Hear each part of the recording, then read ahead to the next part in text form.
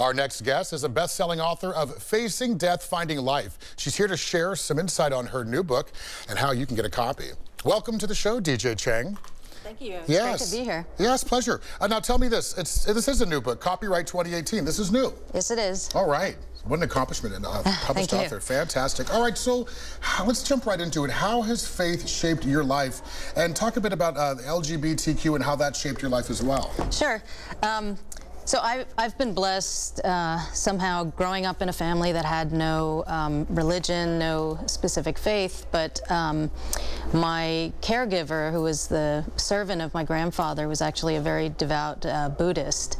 And um, uh, unfortunately for me, when I was nine years old, he, he tragically had a heart attack uh, right under my hands when he was babysitting for me.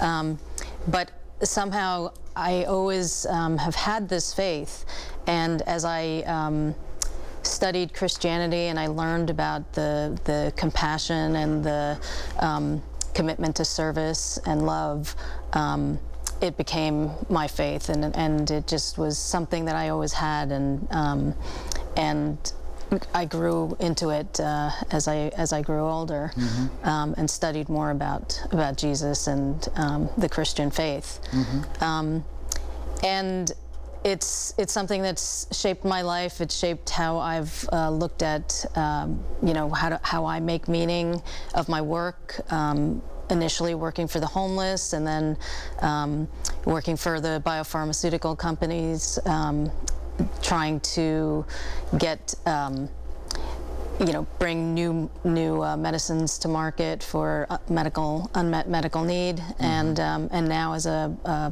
social purpose entrepreneur, um, my faith is is what's driven me.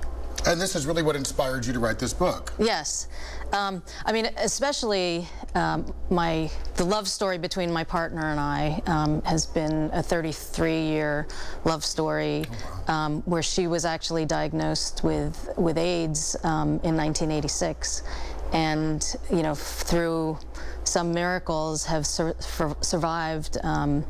Um, you know, four times of almost being on the brink of death. Wow, four times.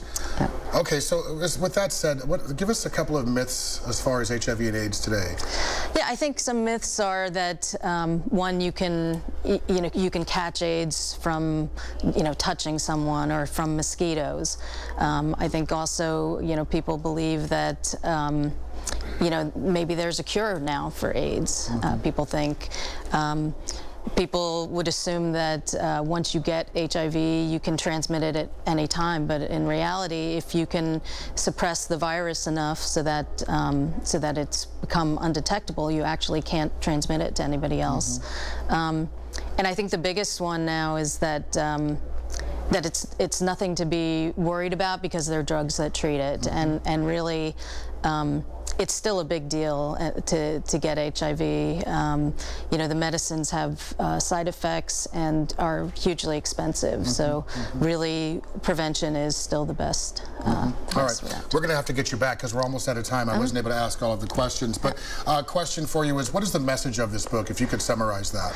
Yeah, I think for me the message is um, it's about free will and the the gift of mistakes. I mm-hmm. think I've made plenty of mistakes in my life, but it's I've always found that I've come to the place that I'm meant to be. Mm-hmm. I like that. All right, fantastic. All right, to get a copy of this one-of-a-kind book, find it on Amazon or mm-hmm. follow the link listed below. A big thanks to DJ Chang for being here, and always a big thanks to you. We'll see you in just a moment.